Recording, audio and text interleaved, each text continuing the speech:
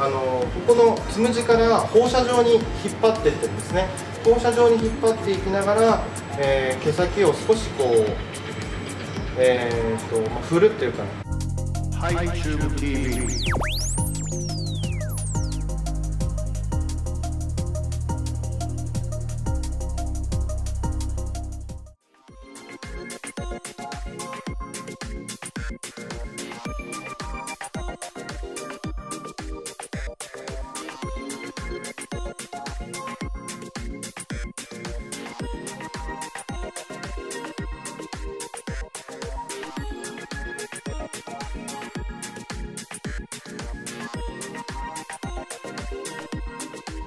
えーこんにちは。札幌占い美容師裁判士のことです、えー今日も、えーモデルさん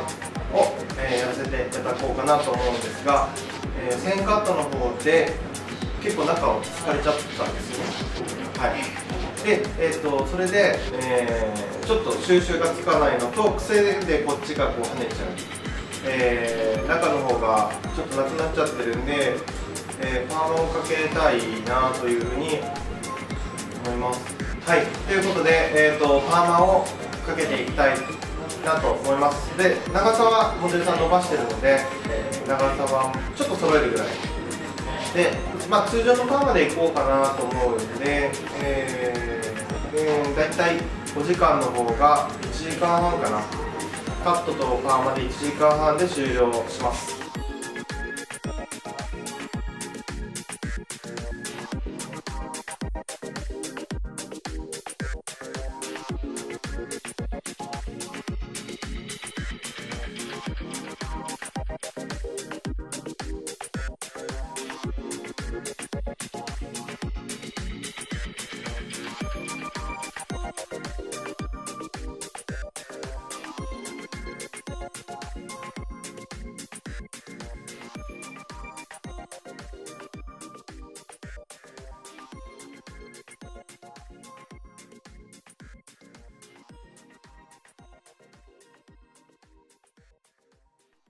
は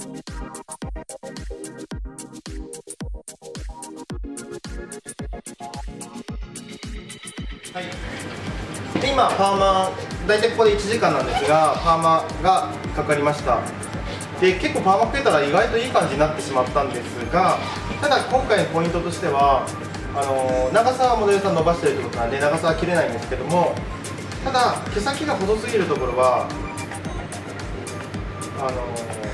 こういう重さを出した方がもっとよりフォルムが綺麗に見えてくるんでカット引き出して切るっていうよりもあのもう量はつけませんからこの状態からなので左右がちょっとバラバラなんですけど軽い方に逆を合わせてしまうとまた余計なちょっと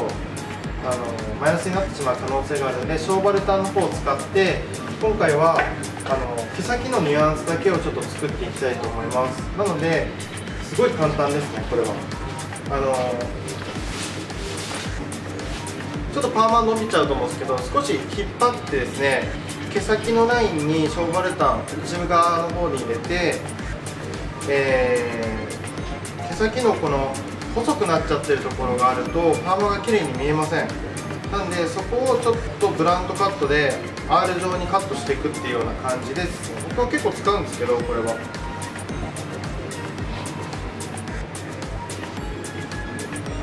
あのパーマとレパーマって結構あの、まあ、人それぞれだと思うんですけどこういうハサミのシザーの方が相性がいいんで絶対。毛先に重さがこうちょっとねこういう風な軽さが出てるとあの悪くはないんですけどちょっとブランド感があって可愛かったりとかするんで僕はまああえてちょっと毛先にブランド感を足すんですけどこのような感じにちょっと足してなんであんまりこうカットっていうカットではないんで本当1時間ちょっとで終わっちゃうかなっていう感じです前髪綺麗に切ってますね。本当です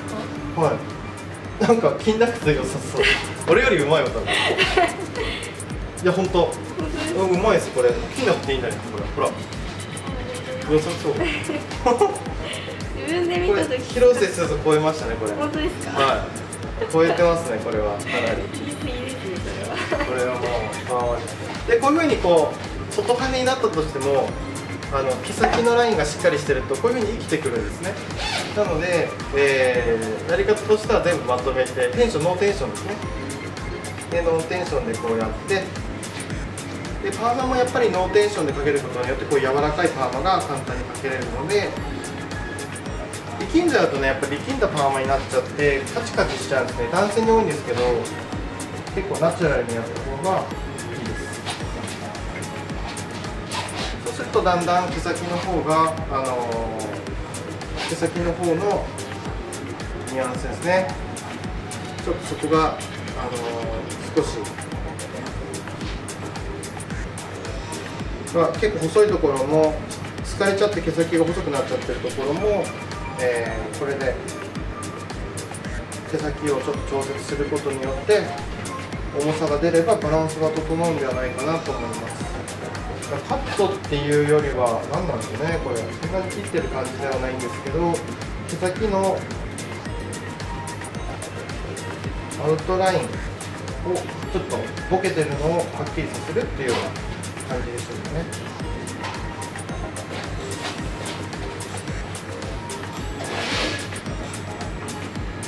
下見てくださいね。はい、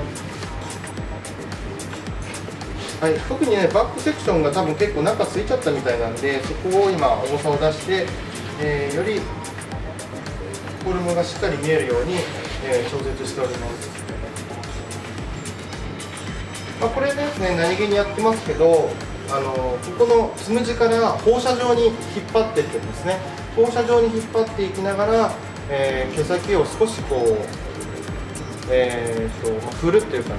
振ってで毛先のところにブランクラインを入れてるような感じになります、まあ、これもただで右と左にこう振ってるんですけどこの毛束をどっちに収めたいかなっていうので、まあ、僕は決めてます。ねじる方向によって、えー毛束のですね、えー落ちる方向っていうのがちょっと決まってくるんでそこで、この毛束をどこに落としたいかっていうのをイメージしながらパーマと相談して切ってます。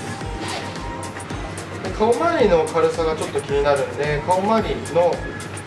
とところをちょっとラインを作っていった方が良さそうなんで顔周りはちょっと調節します。例えばこの軽いんでこの軽さを毛先が細くなっちゃってるからねここにやっぱりブランって入れた方が。でこれもまとめて切ればいいじゃんっていう話でもあるんですけどこれまとめちゃダメなんですよ。なぜこれ細かく切ってるかっていうとあえて細かく切ることによって隣同士がつながらなくしてるんで束感を、えー演出したいのであえて束束ごとに取ってるんですね。これをいっぺんに取っちゃうとまとまってしまうので細かく取るっていうことはなじまないようにはあえて切ってるんですね。なのでちょっとずつこれこういうような感じですね、はい、で前髪は自分で切ってるのが上手なので僕は触りません。本当に。本当なんかそれでいいと。本当本当それで良さそう。スタイリングなんですが簡単です。これはまああのヘナジェルとヘナウォーターいつも使ってるやつなんですけどえー、とヘナを使ってますからつけれ使うと使うほどあのー髪の毛が弾力が出てきたりとかしていきます。でスタイリング剤にも使えるのでちょっとやってみたいと思います。トリートメントしながらスタイリング剤にもなるっていうような感じで。でちなみに手は洗わなくても大丈夫です。はい、えーオーガニック系で。まず こちらがえっ、とあのヘナウォーターマイナスっていうのなんですけどこちらをつけます。どうですか匂い。これ北海道のハッカあハッカっぽい。あ、聞こえます好きな匂い。あ結構自然っぽいですよね。はい。でこの後に、えー、とヘナウォーターをつけるんですけどこれはラベンダーを使っております。でこれ2つをつけることによって先ほどのはマイナスこっちはプラスマイナスとプラスを合わせるとがっつりくっつくっていうような感じですね。なので、えーと、自宅でヘナやられてる方とかちょっと面倒くさいと思うんですけどこれを使えば同じような効果が、あの期待できますのでこれをこんな感じに取っていただいてですね、えーと、パーマスタイルにこのジェルをつけてスタイルをしていきます。で結構ですねこのジェルがつけて乾かすとちょっとゴワってなってしまうんですけどこれはヘナ特有のゴワつき感なんでしっかり乾くとサラサラに変わっていきます。なんで最初つけ始めの方は使い始めの人ってちょっとゴワってなるから使いづらいってなるかもしれないんですけどあの完全に乾いてくるとあのサラサラに変わってくるんでドライヤーで乾かしたけどちょっとごわつきがあるかもしれません、まあ、それが変な使ってるのであのその違和感がこの商品の売りです。で、えー、これをつけたらでこのまま、まあ、こう手にこう伸ばしていただいても大丈夫なんですけどもはい。でこの状態で自然乾燥すればスタイリングが終わりなので簡単ですね。はい。このまま振ります。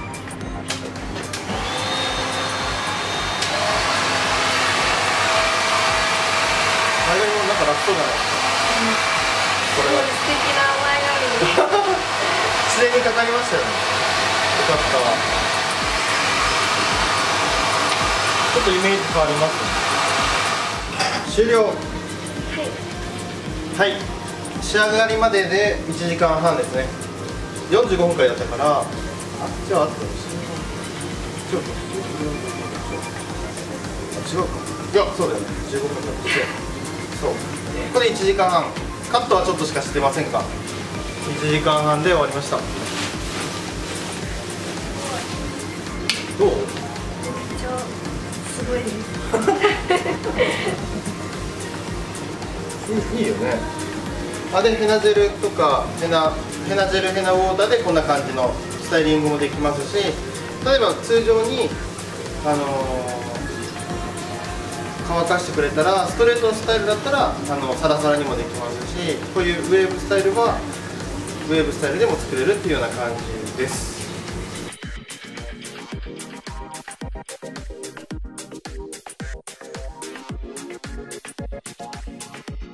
はい今日も撮影の方が終わりました。今日は、えー、切るところがねあまりなかったんで毛先にブラントをちょっと入れて、えー、ボリュームを調節したりしたぐらいなんでドライスタイリングまで。でスタイリングまでやって大体1時間半かな？ぐらいですね。で、えー、仕上がりました。なんか意外とね結構ここら辺かなりカットで剃られてたんですけどパンをかけたらいい感じに。なりましたよね。はい。ということです。シェアシェアとかいいねしていただければ僕のモチベーションが若干ありますんで。お願いします。では今日もこれで終わります。じゃあバイバイ。